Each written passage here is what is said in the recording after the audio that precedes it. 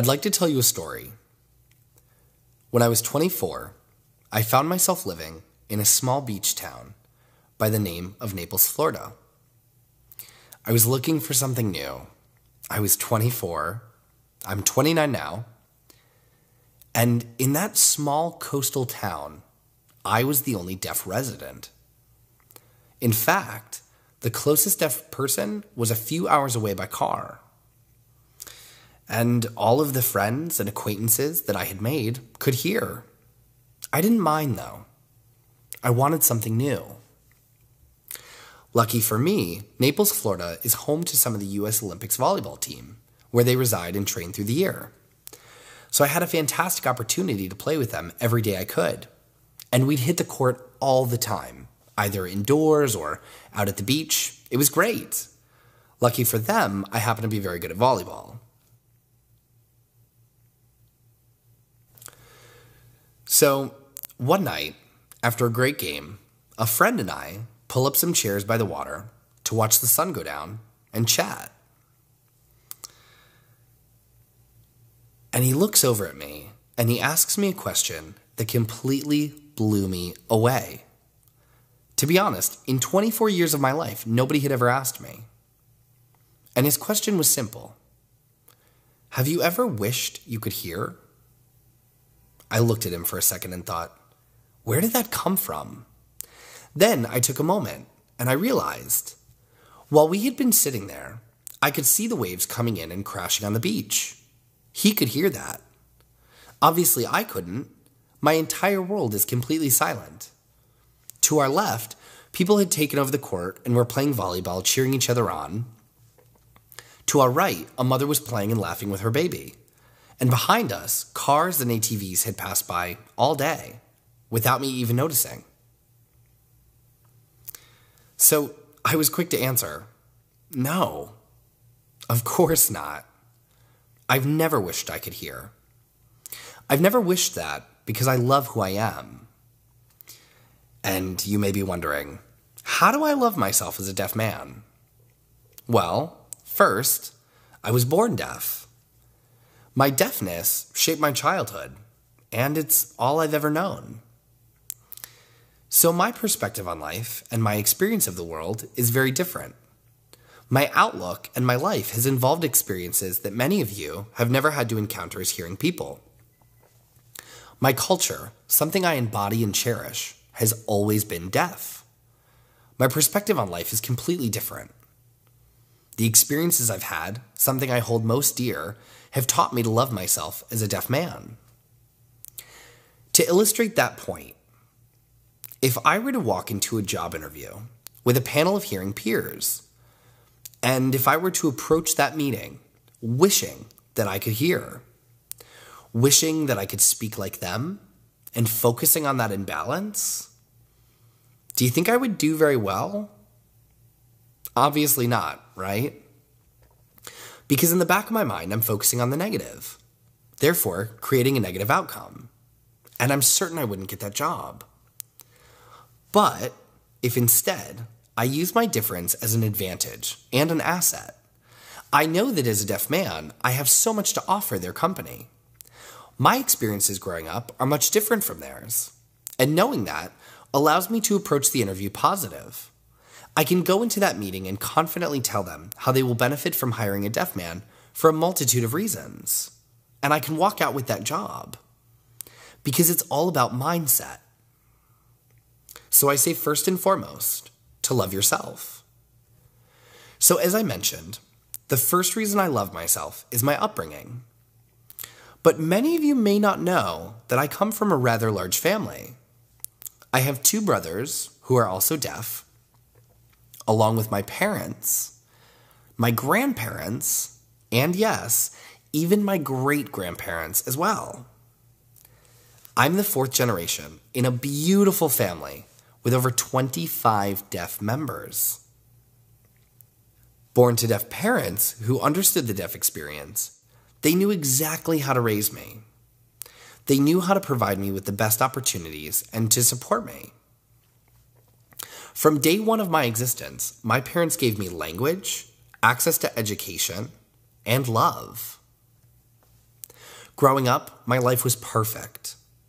Imagine, like many of you, born to hearing parents, I never noticed barriers that simply weren't there. I'm sure many of you felt your life was normal, the same way that I did. Coming from a deaf family, my world, in every way, was a utopia.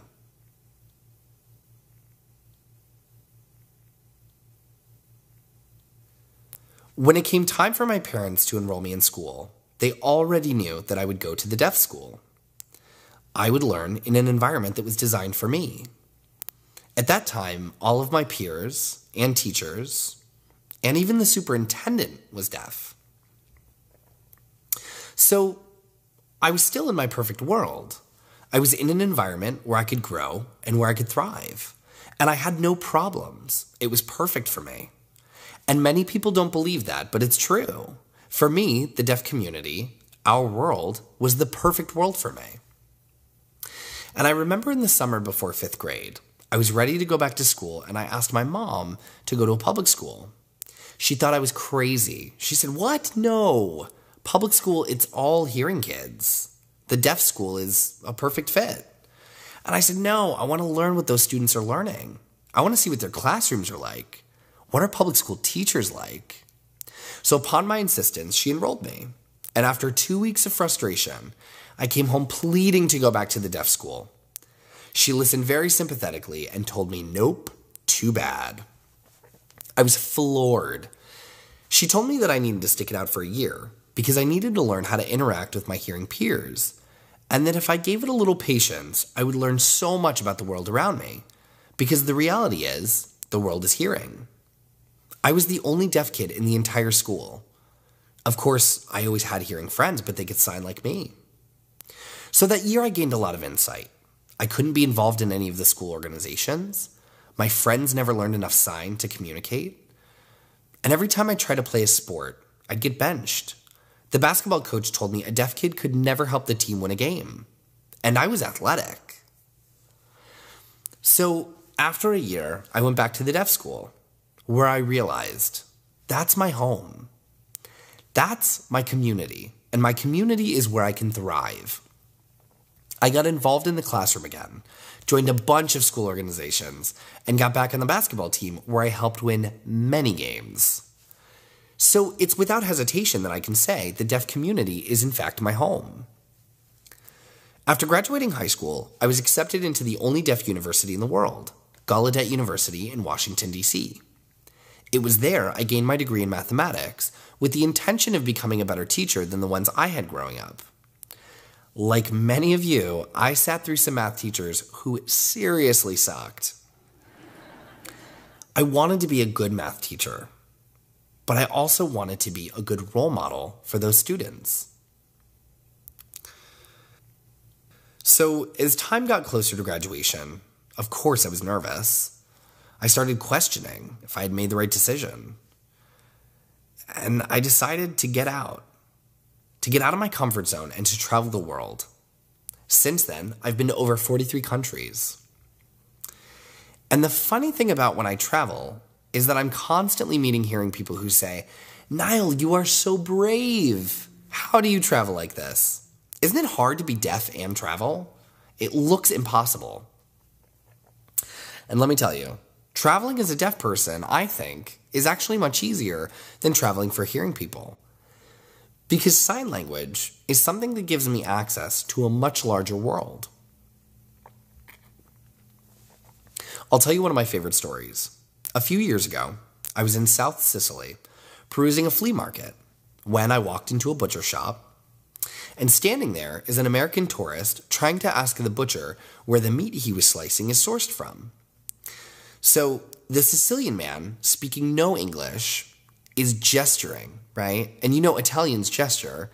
He's trying to explain where the meat comes from, and it's going right over the head of the tourist.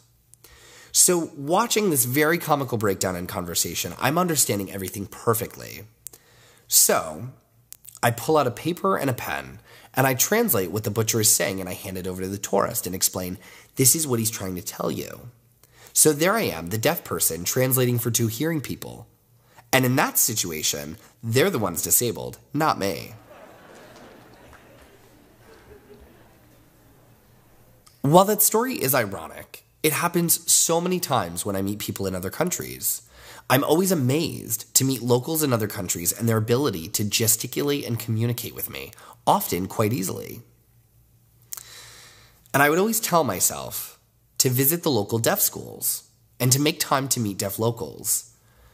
But with every new deaf school that I saw, I was sad to see that their schools were in terrible condition and their education was greatly lacking. Often, I just couldn't believe my eyes. When I would meet deaf adults, I realized a common thread very quickly.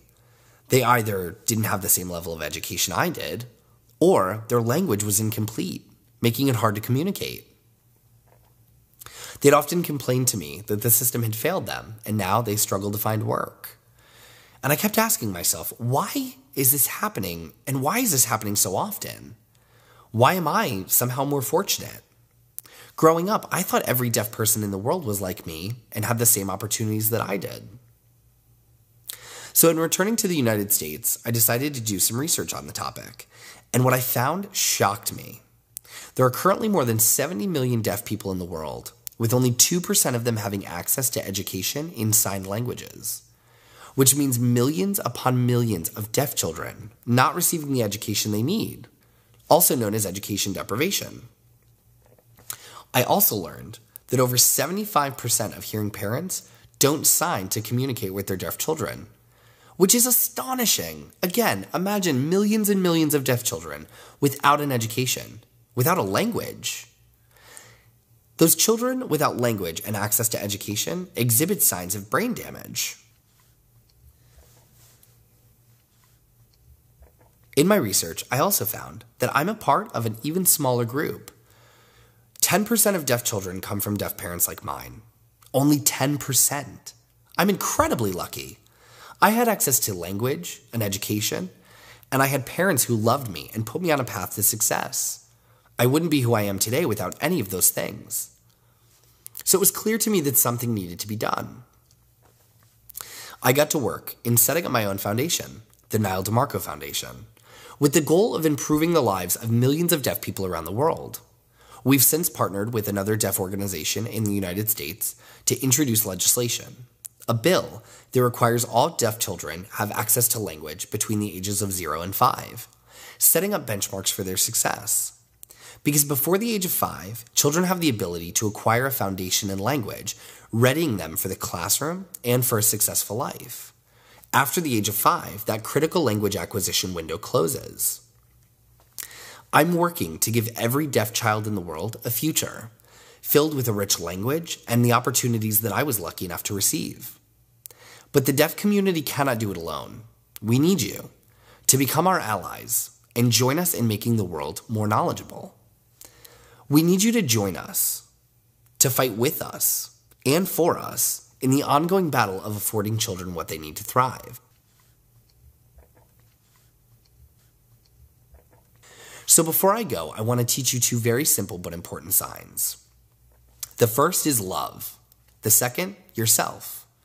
Follow me. Love yourself. Brilliant. A pluses all around. Thank you.